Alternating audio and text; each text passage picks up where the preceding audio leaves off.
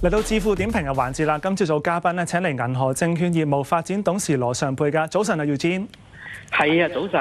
係今日咧，咧就想同我哋講一隻建行九三九啊。見到人行咧上星期五就公布咗一月嘅人民幣貸款咧係增加咗三萬二千三百億人民幣㗎，嗰個市場預期按年咧係增加咗三千二百八十四億嘅人民幣，創咗單月嘅歷史新高。呢個係咪因呢個係咪一個利好因素咧？俾內銀？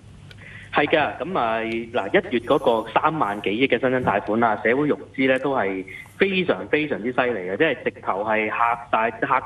嚇晒全世界咁滯嘅，因為你諗下一個月一個國家可以做到三萬幾億新增貸款嚇，咁但係呢個消息出咗嚟之後呢，見到 A 股同 H 股個內銀呢未算話太標青嘅，咁我諗市場係擔心兩樣嘢啦。第一樣嘢就係嗰三萬幾億嘅新增貸款啦，好多呢都走咗去個貼現市場嗰度。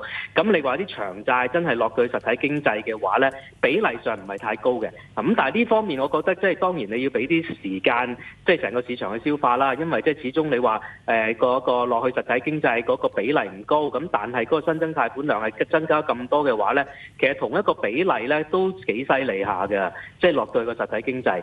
咁第二樣嘢市場比較擔心嘅就係話，喂，做多咗啲中小微企，咁嗰個壞帳嘅情況會唔會增加？咁呢個憂慮係值得去去深究嘅。咁但係我諗市場第一個反應就係話新增咗嗰個貸款之後呢，咁啊對於即係嗰個銀行嗰個嚟緊嗰一年嘅盈利呢，都絕對有幫助啦。咁啊至於你話壞帳嗰啲，我諗冇咁快個市場會消化咗。咁同埋第二樣嘢就係話呢。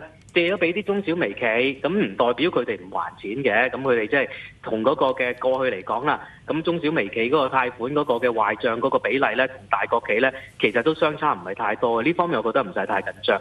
咁而家嚟講，我覺得即係譬如建行為例啦，佢個股價都未企到喺七蚊嘅話咧，有少少落後嘅，因為兩個禮拜之後就兩會㗎啦。咁以而翻以而家嗰個嘅央行嘅政策都係慢慢放水嘅話咧，我諗兩會之後嗰個放水嘅步伐咧，都係會繼續維持落去嘅。咁啊，所以就建行可以中線睇翻好啲啦，追翻個落後啦，即係目標價擺翻喺譬如七個二啊，同埋七個四呢兩個位嗰度咯。係咁買入價同埋誒止蝕價方面又應該點部署咧？好啊，買入價我諗都係六個九留下啦，即係而家咁大概六個八毫八啦，而家咩位差唔多，我覺得可以買到噶啦。咁啊，指示咧就放翻喺六個六嗰度嘅。好啊，而家建設銀行咧，而家係做緊六個八毫九，咁升幅咧係超過百分之一，升近一毫噶。再問埋 Eugene 有冇揸住頭先所講嘅股份咧？